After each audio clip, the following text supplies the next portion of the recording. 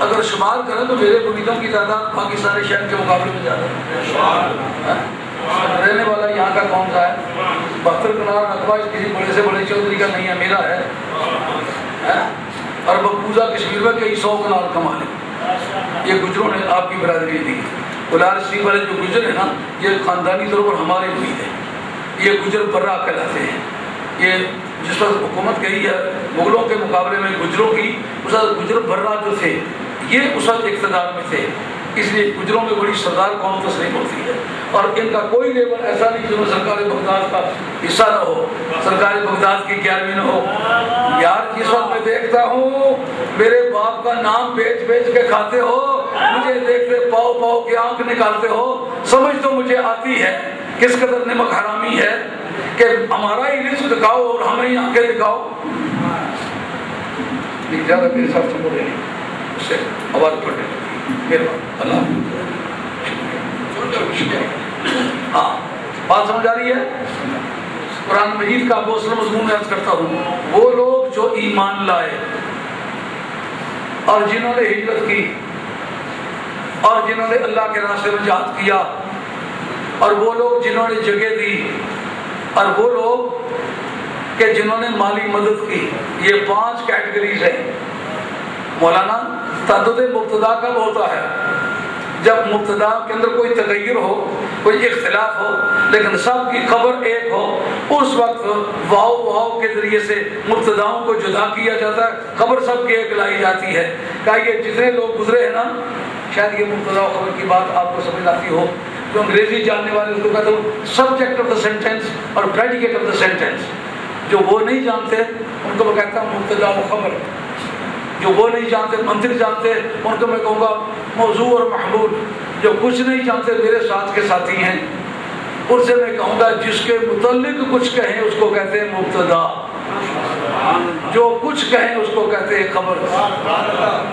जिनके क्यों? शाह बड़े बड़े इस नाम भी पड़ा होगा।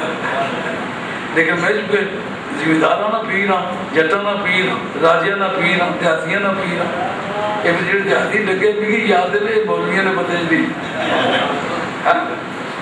जिसके मुतलिक बात की जाए, वो है मुबतदा। जो कुछ कहा जाए, उसका नाम है खबर। किन के मुतलिक बात की गई है? उलाय का उमलमून हका। ये बात बताई गई है। इसलिए ये खबर है। मुबतदा क्या है? अल्लाह जीना मौसूल, ये सब उसका सिला अतबाद अतबाद कुर्बन वबोदन यहाँ तक उलायका से आगे खबर चलती है का ये पाँच किस्में जो बयान की है ना, इनके मतलब एक बात समझ आइए अपने लफ्जों में, ये पाँच किस्में, पाँच बरादरियाँ जो बयान की हैं, इनके बारे में हमसे एक बात सुनो। क्या बात? उलायका हुमुल मोमिनूना हक्का। यही सारे लोग हक हैं, सच्चे मोमिन हैं। अल मोमिनूना हक्का अब ये पूछना होगा, ये ईमान लाने का काम सिर्फ़ हज़रत उम्र सदीक रदी ने किया है?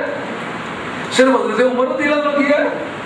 सिर्फ़ हज़रत उस्मान रदी ने किया है। सिर्फ़ जनाब हजर करार ने किया है, या बिलाल हबशी ने भी किया है, हमारे अपने यासर ने भी किया है, जनाब सुमैया ने भी किया है, जनाब अमीर महाविया ने भी किया है, हज़रत अमर बिन आस ने भी किया है, हज़रत अब्दुल्लामर ये जितने सारे शाफी हैं, ईमान लाने का काम किया कि नहीं किया? उनके मुतल रब ने क्या बतलाया? कहा, ये सच्चे मोमिन है। जब रब उनमें से हर एक को सच्चा कहे तुम चार को निकाल के कहो, ये चार हक है। आगे बात समझे? ये तर्जमा है। बाद में इसका एनालिसिस करता हूँ। दूसरी आयत यकीम और स्वाद करना जो नमाज़ कायम करते हैं, जो कुछ उनको हमने दिया है, उसमें से खर्च करते हैं। उलाए को हम मोमिन हका। वो सारे लोग सच्चे मोमिन। किन के मतलब बताया? नमाजियों के मतलब किन के मतलब बताया? माल खर्च करने वाले लोग। क्या बताया? कि वो सच्चे मोमिन हैं। अब ये माल खर्च करने का काम, नमाज़ पढ़ने का काम, ये सिर्फ़ चार करते हैं, या सारे से आभा करते हैं। सारे से आभा करते हैं। तो फिर बाकी को निकाल के चार को सिर्फ़ क्यों कहते हो? कहते हम उनको निकालते तो नहीं, किसका जवाब होगी आपसे तलब करूँगा। और अगर बात ना है तो कोर्ट में खड़ा होकर के तो उससे मैं जवाब तलब करूँगा। और तुम्हें जब कोर्ट में आना पड़ेगा तो फिर मैं लॉजिक पेश करूँगा मंतिक पेश करूँगा, कानून पेश करूँगा। जिस आदमी के आठ बेटे हों, उनमें से कहा जाए, तुम्हारे चार बेटे हलाली हैं। बाकी हद तक का दावा कर सकते कि नहीं कर सकते, आपसे पूछता हूँ। कानून नहीं पड़ेगा आपसे पूछता हूँ, जिस बाप के आठ बेटे हो, कहा जाए तुम्हारे चार बेटे हलाली हैं। तो बाकी हद तक दावा कर सकते कि नहीं कर सकते? यार, ये चार हलाली हमारा ज़िक्र क्यों नहीं किया? अगर बेटा होना हलाली होने की वजह है तो हम भी हलाली हैं। अगर हक होने की वजह मदीने वाले का यार होना वजह है तो जितने भी यार है, वो सारे हक क्यों भाई? समझ आइए बात? आगे ये कुरान जीत की तीन आयतें हो गई। अब चौथी आयत जो पेश की है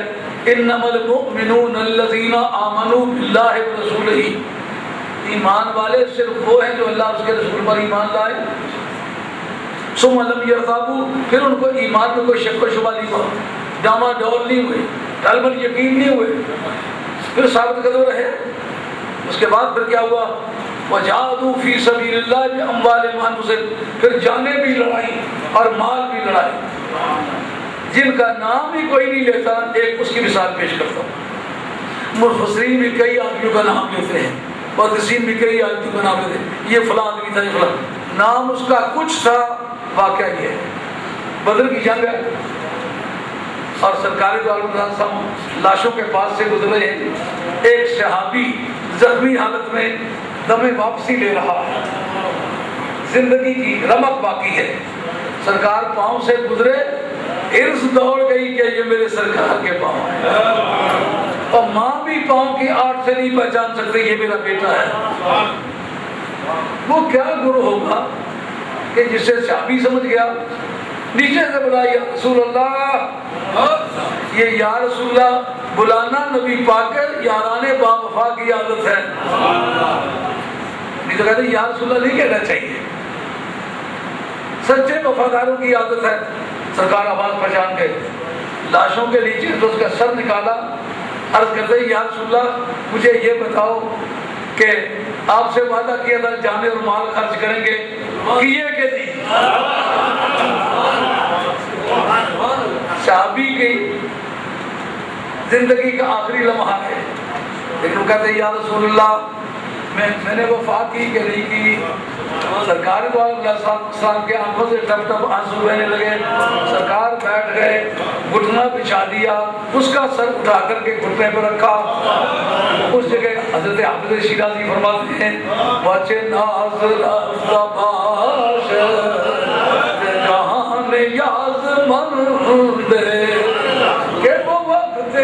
सपुरदन बस रश रसी दबाशी। वो मरने वाला कितने नाज नखरे से भरा होगा कि जिसके मरने के वक्त उसके सराने तुम आकर के बैठ गए। लाखों मेरी बीमारी ये गम सेहत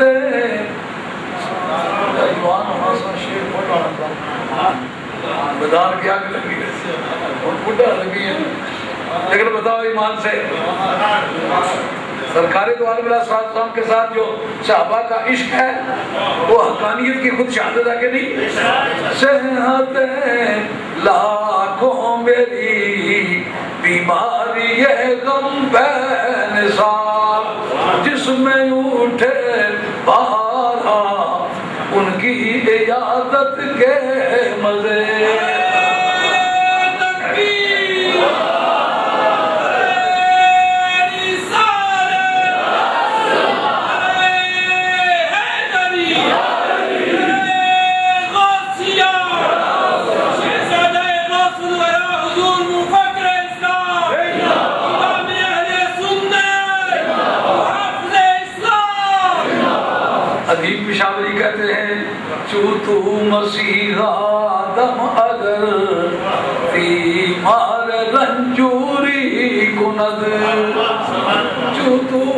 मसीहा दम अगर मार रंजूरी कुनद रंजूर अलहक आजू हर रोज बीमारी कुनद ओ प्यारे, अगर तू मेरे सराहने आकर एक मरतबा मेरे वास्ते माथे पे हाथ रख के पूछे, क्या हाल है? खुदा की कसम रोज़ाना नफर के दुआएँ मांगो मौला करी, मुझे हमेशा बीमार रख।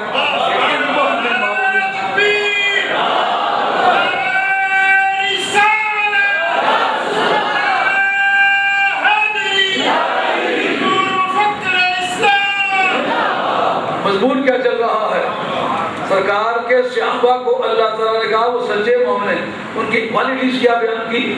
उनकी क्वालिटीज और साफ़ क्या बयान किए? और साफ़ ये बयान किए कि वजादू फ़ी सबीलिल्लाह बिअमवालिहिम व अनफुसिहिम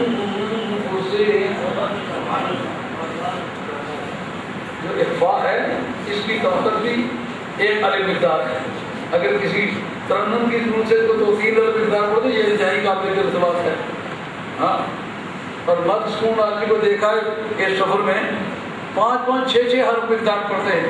मर्द सुकून आदमी में तो कसर दुरुस्त है तवसत दुरुस्त है तूल दुरुस्त है। लेकिन कसर उसका एक अलग के बराबर है, उसका तवसत दो अलग के बराबर है, उसका जो है तूल है, वो तीन अलग के बराबर तो अगर छः छः अलग पढ़ दे तो ना वो करात है, ना वो अरबी वो तो गाना बजाना है। समझ की बात, इस कुरान मजीद ने बात कही है ना उलाइका हुमुस्सादिकून मेरे रजिस्टर में ये सच्चों का, ये सच्चों की शान है। कुरान मजीद की चार आयतें पेश की हैं, जो सराहतन कहती हैं, सरकार का हर से अभी हक है। कुरान मजीद की एक आयत पेश कर दो, जिसमें ये सिर्फ़ चार से है। नहीं पेश कर सकते हो। अब इसके बाद एक कायदा आपके उसूल तफसीर का।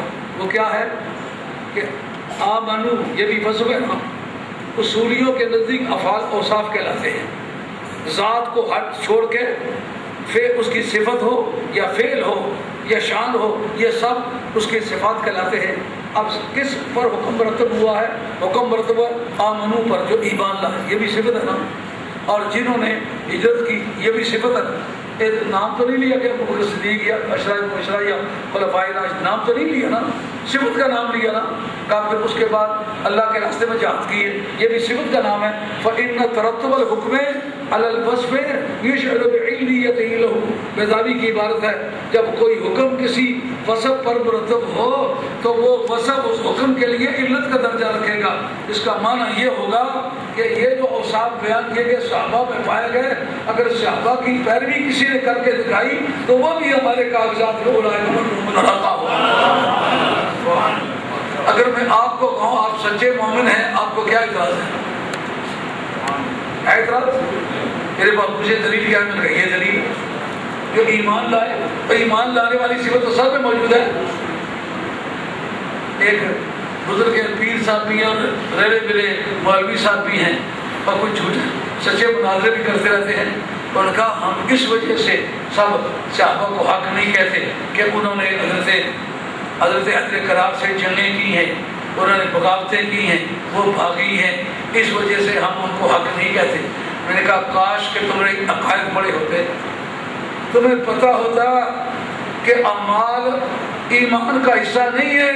ईमान, अमाल की खराबी के बावजूद एक आदमी सच्चा मोमिन हो सकता है। बात समझ आ रही है नहीं रही आज के मोमिन को कहा, आज का मोमिन झूठा है, ये बात गलत है। इसको इस्लाम नहीं कबूल करेगा। अमाल की खराबी की वजह से ईमान कमज़ोर या मज़बूत होता है। लेकिन बेईमान नहीं होता। समझो? ये जिसने बगावत भी की है ना, बताओ सर शाबी रहा के नहीं रहा? ये शाबी है, जब तक शाबी है, उस वक्त तक हक पर है। रह गई बात अमाल की। अमाल ईमान का हिस्सा नहीं। अब मंतिक का कायदा सुनो। इसको कहते हैं मशरूता आमा। ये मौलवियों के समझने की बात आवाम को समझ नहीं आएगी, लेकिन आखिर में जब बात करेंगे फिर कड़ा करने के लिए सारे लेकिन इंतज़ार करना पड़ेगा। वो कायदा क्या है? कायदा ये मशरूता आमा, उस नज़रिए का नाम है, जिसमें मौजू कहता है, मेरे महमूद की जो मेरे साथ नस्बत है, वो हमेशा कायम रहेगी ज़रूरी तहक़ है। ये कजिया ज़रूरिया है। क्योंकि जहत मादा जो है कैफियत मादा वो ज़रूरत है अब ज़रूरत की दो किस्में हैं ज़रूरत ज़ातिया ये ज़रूरत वसफिया है ज़रूरत ज़ातिया है तो ये कौन सी ज़रूरत है ज़रूरत अजलिया है ज़रूरत वक्तिया है ज़रूरत वक्तिया मुना है ज़रूरत वक्तिया मुंतशरा है कौन सी ज़रूरत है क्या ये ज़रूरत ज़ातिया नहीं है ज़रूरत वसफिया है ज़रूरत वसफिया के क्या माना होते हैं ज़रूरत वसफिया के ये माना होते हैं मौजू कहता है, मेरे महमूल को, मेरे साथ जो अटैचमेंट है, हमेशा कायम रहेगी। किस तरह कायम रहेगी? जब तक वसफ़ उनवानी से मैं मौसू हूँ। वसफ़ उनवानी क्या? है शादी होना। और उसके साथ मामूल उसका क्या है? हक होना। इसका मतलब यह है कि उसके सच्चा मोमिन होने का ताल्लुक उसकी शहाबियत से है। जब तक उसका वसफ शहाबियत कायम है, उस वक्त तक उसका हक पर होना कायम है। जो शहाबी तो माने पर हक पर ना माने, उसने शहाबी को शहाबी नहीं माना।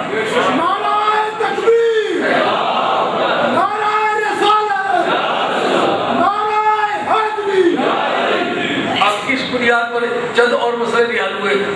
ये कितने भी गुनहगार मुसलमान हैं, लेकिन गुनागार होने की वजह से आप उसको बेईमान कह सकते नहीं, किसी इल्म वाले से पूछो तो किसी भी गुनहगार को बेईमान कहने की इजाज़त नहीं। क्यों? कि जब तक उसका ईमान सलामत है, उस वक्त तक वो मुसलमान है। और जिस तरह सहाबी कोई कोताही करके भी सहाबी रहता है, इसी तरह मुसलमान कोई कोताही करके भी मुसलमान रहता है, इसी तरह एक सैयद कोई कोताही करके भी औलाद फातिमा रहता है। बात समझाई कि नहीं आई? है? कुछ मौलवियों ने लगी ना तहसीर लाई ने तहसीर मिसाल और बंदे उन्होंने कहा, हाल खड़ी करो ना। हाल पीछे होना उसकी कुंडा तो वो दरम्यान गुंजा उसकी कले की भी आली आ कभी ओग जा ठोकिया हुआ। अगर रिदान जी होनी उसकी सन्ना, उन्हें सन्ना खड़ा करी ना तो नाल इस तरह करो कि टापा रखी ना नाल नाल हलवा लाने के शो। उतनी कंध चाड़ी से तो टापा हलवे नहीं, ये तो नहीं। उन्हें आख्या तुसा पुत्र की उचाई सा। उन्हें आख्या मिस अल्लाह की जो तो टाप टप पाई ये जिसको सईदों के खिलाफ फतवा चाहिए होता है तो अल खड़ी रखते हैं। जब अपनी बारी आई तो उल्टी कर लेते हैं। लेकिन कुरान, अल्लाह का सच्चा सच्चा कुरान है, ये आगे पीछे नहीं होगा। अब जनाब, इस पर हम एक और कायदा मंत्र का बयान करते हैं कि ये अल्लाह आमन व हाजर वजाहर ये क्या है? ये है हद औसत और उलाय को उलाय को मलून हका ये हद अकबर हद औसत किसे कहते हैं? का जिसके मुतलिक, उस चीज़ जमात के मुतलिक कुछ फैसला करना होता है, उसको कहते हैं हद औसत। और जो कुछ फैसला दिया जाता है, उसका नाम है हद अकबर। अब किसी नई जमात का फैसला करना पड़े तो क्या करते हैं? उस हद औसत के खाते में डालते हैं। मिसाल के तौर ये मेरे सामने मस्जिद का दरवाज़ा है। मैं कहता इस मस्जिद के दरवाजे में जितने लोग खड़े हैं, ये आले हक हैं और आले हक रहेंगे। अब जब इस दरवाजे में जितने लोग खड़े हैं, ये हद औसत है। और जब मैंने कहा, ये सारे हक पर हैं, ये अगला दरवाज़ा है, ये हद अकबर है। अब हम कुछ नए आदमी लेकर के उस दरवाजे से गुजारते हैं, जिनके मतलब ये फैसला जो इस दरवाजे से गुजरेंगे, वो हक पर होंगे। तो जो पहले गुजर चुके वो भी हद औसत में शामिल हो गए। जो नए नबी करीम सलाम पर ईमान लाने वाले हैं, उनके मतलब ये हद औसत है। अब पूछो के शाहबा ईमान लाए के नहीं लाए? लाए हैं अब शाहबा हुए अधे असगर, और जो पहले फैसला हुआ हुआ है, उसका नाम है अधे औसत जो फैसला दिया गया, उसका नाम है अधे अकबर। अब हम शाहबा को उस खाते में डालेंगे कि ये ईमान लाए कि नहीं? इन्होंने युद्ध की कि नहीं? इन्होंने याद किया कि नहीं? ये इन्होंने जगह दी कि नहीं? इन्होंने मदद की कि नहीं? हर से में इनमें से कोई ना कोई सिर्फ़ ज़रूर पाई गई है। इसका नतीजा ये हुआ कि अद्य औसत में वो सारे सहाबा शरीक हो गए। जो उस अद्य औसत के मसब में शरीक हो गए, उनके मतलब फैसला ये हो गया कि वो सारे के सारे हक हैं। अच्छा अब वो कहते हम चार को हक कहते बाकी को निकालते तो नहीं है। अच्छा मैं पूछता हूँ, एक आदमी के आठ बेटे हैं, एक पटवारी बड़ा ईमानदार बड़ी बड़ी दाढ़ी वाला, जुल्फे रखी हुई है। किसी जुल्फों वाले पीर का मुरीद है, कुर्ता लंबा पहना हुआ है। मुझे कानों तक मुड़ी हुई है? नारे कई तरह के मारता है। वो लेकर के सारी ज़मीन चार बच्चों के नाम कर देता है। उसको ईमानदार कहोगे? कहा वजह क्या उस बे, उन बेटों के नाम जायदाद जाने की वजह उनके कद हैं उनकी छातियाँ हैं उनकी प्रैक्टिस है उनकी एजुकेशन है या उस बाप का बेटा होना है? बाप का बेटा होना है तो बाप का बेटा होने वाली इल्लत तो सब में है। तो फिर सबके नाम बराबर करो। अगर तुमने चार को चार के नाम किया है, बाकी का नाम नहीं लिया। हम क्या कहेंगे, कितने बेईमान आदमी हो, नाम लिए बगैर को रगड़ दिया। अगर तुम ना मानो, हमारे पास उसका इलाज है। तो क्या? खुद भी। मंत्र की मशहूर किताब है, सफ़ा उसका एक सौ इक्यावन। उसके अंदर बताया गया है कि जिस वक्त सूर्य कजिया कजिया सूर्य कजिया उसको कहते हैं कि जिस बात जिस जिन नामों पर वो आए, उन नामों को सबको वो घेर लेता है। उसको कहते हैं सूर। वो बाज को घेरे तो उसका कहते हैं बाजिया।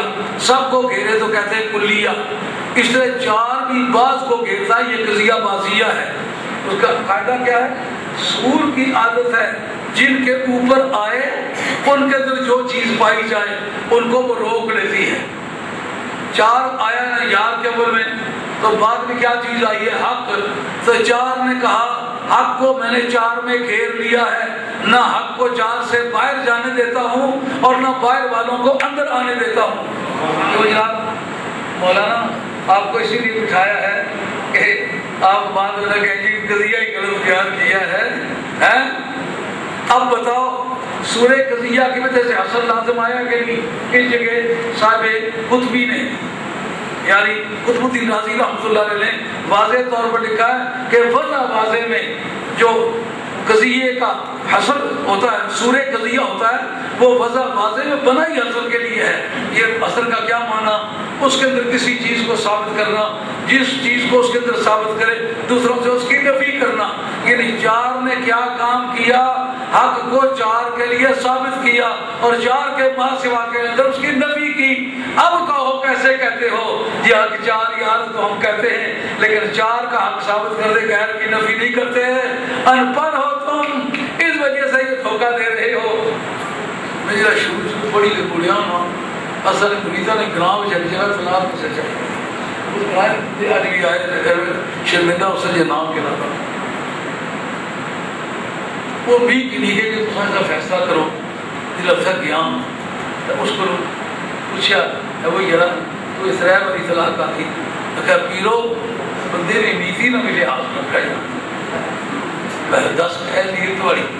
तो ये तलाक दी सी आखी, मैं तई ना तेल एक सब भी उसकी दसिया तेल ना तलाक का मुलाकात ने माने उन्हें तो ना तलाक का जुदाई ने माने उन्हें उसकी मैं आखा ये तो है बारी तेल ना आग है बारी तो ना लाग फ़खसा वो शख्स सकत ये मजमूआ है। ये रुफ़ मामूसा का था उसमें से है। अब जब कहूँ कि जनाब हरूफ शदीदा में भी था है। ये एक बड़ा कॉम्प्लिकेटेड क्वेश्चन है। कभी में बैठे तो फिर खराब के मौजूद पर गुफ्तु हुई तो फिर मज़ा आएगा। में से भी है हम उसके माना होते हैं, कुछ कुछ करना, कुछ कुछ करना। तो करार फन करार में इसके माना होते हैं। आवाज़ मखरज में लगे, आहिस्ता से लगे और आहिस्ता आहिस्ता सांस और आवाज़ दोनों जारी रहे शदीदा के माना आवाज़ ज़ोर से मगरज पर लगे, सांस और आवाज़ दोनों मगरज में बंद हो जाए। वो इधर रूफ मामूसा में भी है, उधर रूफ शदीदा में भी है। बताओ, ज़ोर से उसे लगाओगे, आहिस्ता लगाओगे। उसकी आवाज़, सांस दोनों आहिस्ता से जारी रहेगी, या बंद हो जाएगी ये बड़े गफड़ का काम है। ये तो कारियों से ये इसका मसला ना हल हो। तो जी मैं पर चला का कैसा बोले अब बोला ना, ये ये गुस्सा दफ्तर गुस्सा दफ्तर ये एक मजबूआ है। रूह मुस्तानी मुतबका का इसका तरीकाकार क्या है? इसका तरीकाकार इनके तरफ़ उसके वक्त ज़ुबान की जड़ तालु की तरफ़ उठे और ज़ुबान इस तरह फैल के तालु के साथ लिपट जाए। ये ज़ुबान का ऊपर की तरफ़ उठना इसका नाम है इस्तेला। और ज़ुबान का चौड़ा होकर तालु से लिपट जाना इसका नाम है इतबाक। पूछा मुझसे गाड़ी करूँ तो लेने देने में सारी ज़िंदगी बड़े मज़े की बात. है जब उसे पूछूँ और तू तेल लाख्या था किस लाख्या थी तो कोई ना कर बने देखा तू एक दिन तेरा तू ब्याह किया सा तू कबूल की सी तू कशा ने काफे नाल कबूल की सी या मोटे काफे ਸਾਡੇ ਜੀ ਅਸਲ ਜ਼ਿਮੀਦਾਰ ਲੋਕ ਆ ਅਸਲ ਕੀ ਕਿਆ ਪਤਾ ਜੀ ਮੋਟਾ ਕਾਮ ਕਿਆ ਬਣਾ ਦੇ कशा का काम कर देखा उल्लू ने पुठियात की जरा नकाब की तजा तो जिम्मेदार से जरा तलाब के देने लगे तो करात बड़ी दे दी है अगर दिलू नहीं सी दी और तू दिल से न कहे, लेकिन मुँह से जो बात करा, वो तो वो एक ज़ुबान है। उससे जो नतीजा निकलेगा, मानना पड़ेगा। कहे व्यक्ति में अब यार यार कहने से बाकी की अफगानियत का इनकार नहीं करता, तुम्हें पता नहीं है मंत्र के रूप से ये कजिया ये कजिया मासूरा है। कजिया मासूरा में असल लाजिम आता है। तो तुमने चार का लफ्ज पहले बोल के हक को चार के अंदर बंद किया बाकी शख्स की नफी की है। पढ़ो कभी। समझ आ गई बात? कहते हैं, जनाब ये चार का जो अदद है, ये सूर्य कजिया नहीं हुआ करता। कुल या बात होता है, कुल के साथ या अलगलाम इश्तराकी होता है। मैं कहता हूँ अहमदुल्ला सवा नंबर सैंती उसके अंदर बताया है कि जिस तरह कुल और बाज सूर्य कजिया होते हैं, इस तरह आज़ाद भी सूर्य गजिया होते हैं। अब बताओ कि अब तो तुम्हें हथियार डालने पड़ेंगे, सिवाय शोर के कोई तुम्हारे पास हल नहीं होगा। अब जनाब, मैंने इस पर पहले तो ये फ़ायदा पेश किया कि ये अध औसत है, और ये अध असकर है, और ये अध अकबर है। उससे जो नतीजा निकला है, कानून की रूप से उसको तोड़ निकालो। और जो मैंने कहा सब यार ये अलगलाम तारीम का जो है अलगलाम इस्तराकी है, ये सब के माना देता है। रसालामिया फसूल अकबरी के अव्वल में है इस अलगलाम अपने घर में दो तरह का है, या इसमी या हरफी जो इसमी होता है, वो इसमें फालियत से मफूल के अव्वल में आता है, जो अल्लाह के माना होता है। लेकिन आलरा उन मादों के अव्वल में है, जिनके अंदर माना सबूत के ना हो, हदूस के माना हो। अलमोमिनून के उस माना सबूत के हैं, हदूस के माना नहीं है। अलमोमिनून अल काफिरून अल मुशरिकून अल मुनाफिकून ये चार लफ्ज शरा इब्न हकीम जिल्द अव्वल, सफ़ा 156 उसके अंदर ये दिया हुआ है कि इनके अव्वल में जब आए, इसमें नहीं हो सकता, अल्लाह दीना के माना में नहीं हो सकता। इसके माना है सब के मान ये इस्लाम इस्तला की है। अब वो बात मेरी शब्दों के सबसे आला हक हक पर है। अब इसका तोड़ डाओ और दूसरा, जो मैंने तुम्हें बताया है, सफ़ा इकसठ तोजी तलबी उसके अंदर कायदा युस्बत माफ़ी फिल मुक़य्यद यनफी यनफी यनफी कह रही कि कैद की आदत है अपने मुक़य्यद में जिस चीज़ को साबित करे गैर से उसकी नफी करती है चार की कैद ने हक को चार के लिए साबित किया और चार सिवा हक की नफी की इन चार के अंदर तो हक है बाकी के अंदर नहीं है मर्द के बच्चे बनो कल जो आपने रस के मुनाजरे में मुमकिन तुम्हारे मजामी तैयार न हुए हो बाद में तुम तैयार करो अब अपने उलमा को इकट्ठा करो, उनको इकट्ठा करके कहो, जनाब ये प्रॉब्लम पेश आगे इसका जवाब लाओ। अगर सब कहें कि दरअसल अच्छी बात यही है कि खामोश हो जाओ। अपने वक्त के एक छोटी के मंत्र की मुनाजर को कहा गया कि ज़रूरत तहकीक जो शाह साहब की किताब है, उसके खिलाफ कुछ कलम उठाना चाहिए। उन्होंने कहा, उनके खिलाफ कलम उठाना ये बड़े बेवकूफ़ आदमी का काम है। मेरा मशवरा है, अब अगर अपनी अकल की हिफाजत करना चाहते हो, उसके खिलाफ कदम न उठाओ। आज कितने दिन हो गए? हमने जो बात की, उन्होंने जवाब में पता है क्या कहा। शोर मचाया। मैंने कहा, शोर मचाने से बात नहीं बनेगी कोई दलील लाओ। तो मौलाना फन मुनाजरा में एक होता है मुद्दई, एक होता है साहिब जो दावा करता है, जिसके दावे में पॉजिटिविटी होती है, इस बात होता है, वो मुद्दई कहलाता है। जो इनकार करता है, वो साहिब कहलाता है। जो मेरे उसके दरमियान हुई, वो कह लगा, मैं मुद्दई हूँ मैं चार यार की हकानियत को मानता हूँ। मैंने कहा, तुम झूठे हो मैं उन चार की भी हकानियत को मानता हूँ और सबसे अलग की हकानियत की मानता हूँ। तुम चार की मान के एक लाख चौबीस साल हज़ार से कमो बेच की जो हकानियत की नफी करते हो, तुम मुनकिर हो। मुझे बहसीत मुद्दई के बाद मुझे करनी होगी। तो उसूल क्या है? उसूल ये है कि जिस वक्त कोई मुद्दई अपने दावे को साबित करे, जो दलाल पेश करे, साहिल का काम होता है पहले उन दलाल को तोड़े मेरे इन दलाल को टच नहीं कर सके। क्योंकि इन उलूम में उनकी दस्तासी नहीं थी। एक जुमला नावे का नहीं कहा, एक जुमला बलागत का नहीं कहा, एक जुमला मंतिक का नहीं कहा, एक जुमला उसूल का नहीं कहा। अब जनाब, इसके बाद उन्होंने क्या दलील पेश की? वल्लजीन माहू अशिद्दा वलकुफा ये मुनाजरे की बात है, इसमें कोई बात छुपाई नहीं जा सकती। हमने कंप्यूटर पर अलाई दिखाया और आप वो रिकॉर्डेड मौजूद है, देखें ऐसे है कि नहीं? जनाब उसको कहते हैं वल्लजीन माहू अशिद्दा अब ध्यान से आपकी बात सुनिए।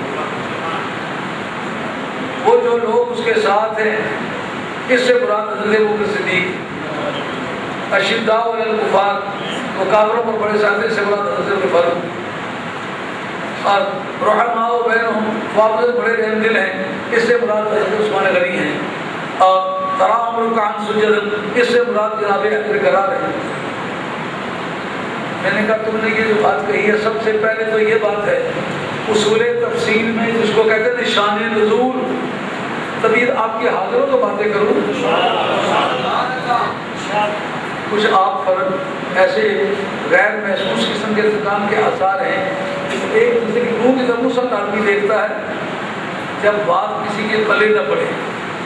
अगर बात पले पड़ते तो मुझे देखो, मुझे जानो मैं आपकी पेशानी को पढ़ूँ समझो, कितनी बात समझ आई है। कितनी नहीं आई। और जो समझ आई है वो कहाँ तक आई है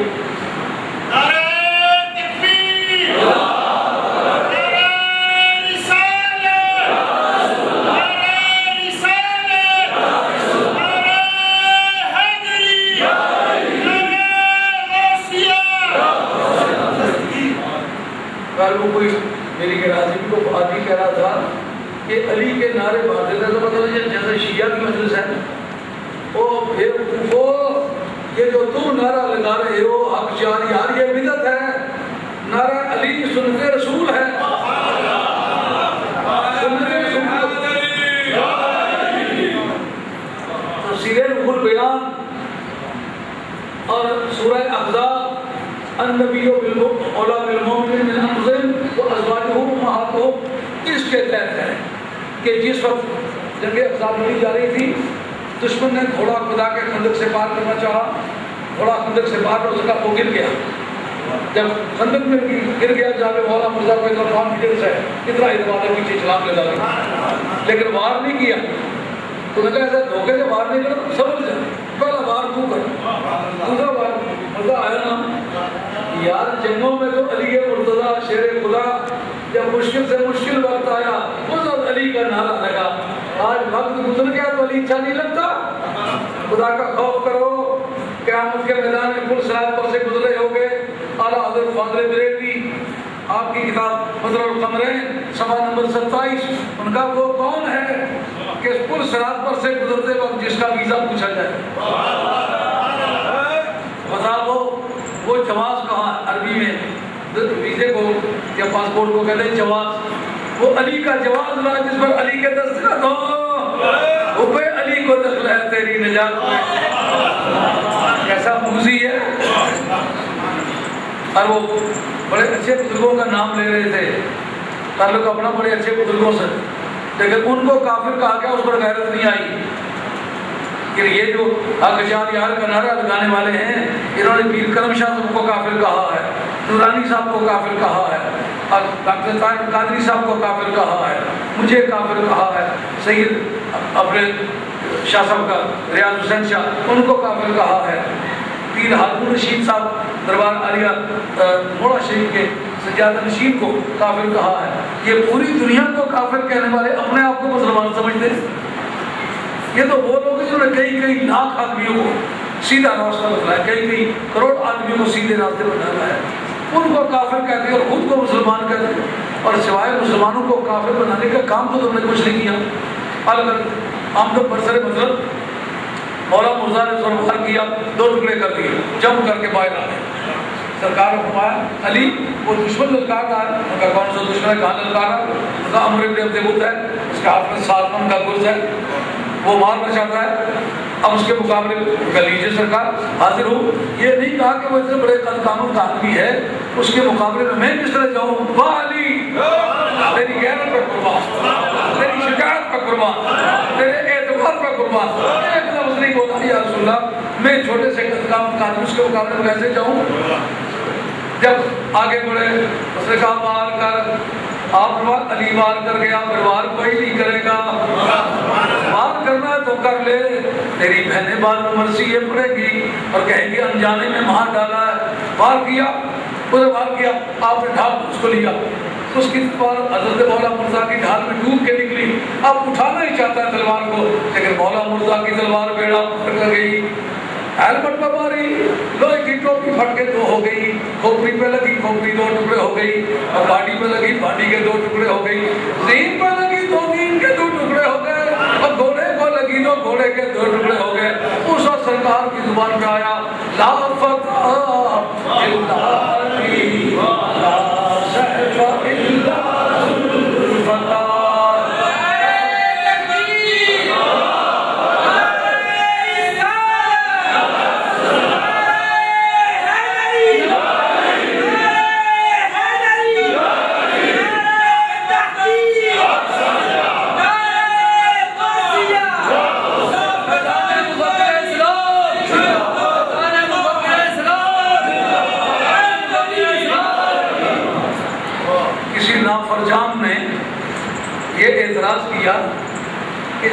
मुबालगा है, एक तलवार इतना इतनी काट कहाँ से दिखा सकती है। इसका कैसे पागल हो तुम? इस बात को समझो, जब अबरा के हाथियों को मारने के लिए फजाइया आई वो क्या थी वो जट तैयारे कौन से थे? अब अबील थे। उनके हाथों में क्या था? छोटी छोटी कंकरियाँ थी। उन कंकरियाँ को फेंका। जिसकी लोहे की टोपी पड़ गई, लोहे की टोपी फट गई, खोपड़ी फट गई, और उस सारबान की जो बाडी थी फट गई और फट गया, हाथी के दो टुकड़े हो गए, और ज़मीन पे चली गई, ज़मीन को फाड़ दिया। और जिस दरबार की चिड़ियों को ऐसे वार करने का मिजाज है, उस दरबार का अली और तो उसकी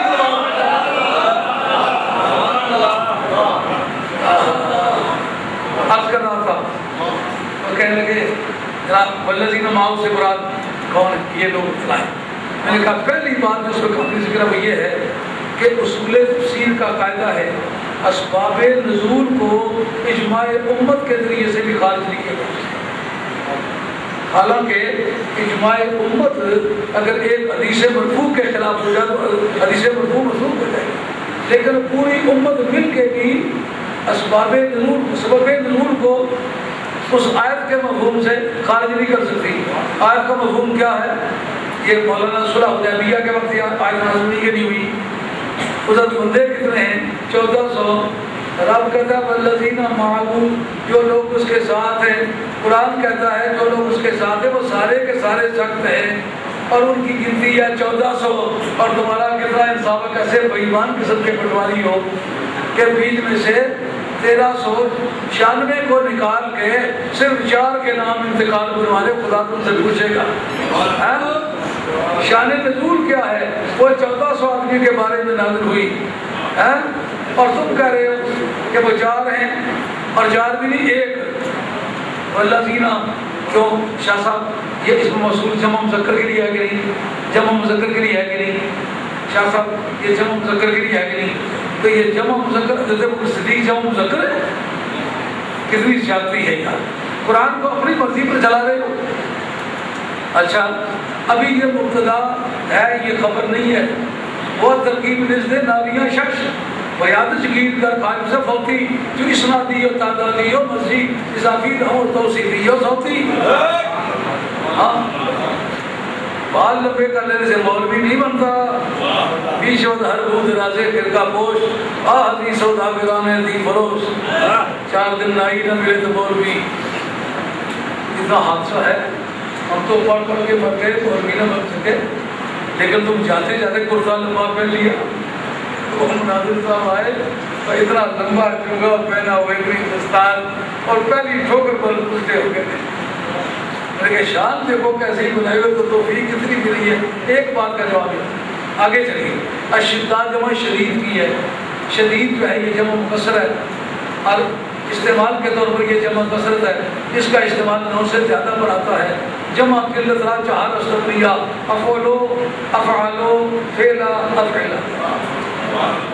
याद करनी पड़ती है किताब। ऐसे जाते जाते मौके पर मौके पर तो की सरानी निकली की ना खाने गया तो चल रहा कोई माना। घर क्या बड़ी बोटी ना सकल दब दी थी बड़ी दी। थी अपनी बोटी ने ना दिलू ले गया मदान जी का चौथ दिलू गला ले गई चंगी तरह ना याद की याद नहीं रही। अब जनाब जमा मुकसर है, और कसरत के लिए जमा कसरत है। कसरत के लिए इस्तेमाल होती है। इसका मतलब क्या हुआ? नौ से ज़्यादा के लिए इस्तेमाल होती है। अशिदा या उम्र मुराद नहीं हो सकते। ये हज़रत उमर जमा सारी उम्र हासिल उम्र। है, है कोई तो? अगर ये सारे जो हैं ये काफरों पर बड़े सख्त हैं। रहमान रहीम की जब रहमत से मुबालके का सीखा है। बहुत मेहरबानी करने वाले। ये सारे सहबा की सिवत है। तरा हम आखिर में पहुँचे तो मैंने कहा, हज़रत अब्बास का ये कौल, इन हज़रत का कौल चार के बारे में नहीं है, ये दस के बारे में आगे जो आ रहे हैं, ये उनकी सिफात है। हज़रत तनखा और जुबैर की है, अब्दुलरहमान इब्न औफ की हैं, ये साद और सईद की हैं, ये दस सहबा की हैं। जिसका मतलब हक चार यार नहीं होगा, हक सब, हक दस यार होगा। ये तुम जो कड़ी पका रहे हो ना, ये तुम्हारे इस्तेमाल की है हुकूमत के इस्तेमाल की नहीं है। याद रखो, ये कौल इक्रमा का है, खारजी है इक्रमा। हाँ ये शरा हज़रत इमाम जिनका सर वफात नौ सौ ग्यारह उनकी किताब का सवा नंबर तीन सौ उनतीस, उसके अंदर ये बात लिखी हुई है कि जो हज़रत अदर करार को सुबह शाम सत्तर मरतबा काफिर कहते थे तबरबा भेजते थे, उनमें से ये इक्रमा भी है। तुम कहते हो, सब तो अदालत हदीस काबिल कबूल नहीं होती। जो अली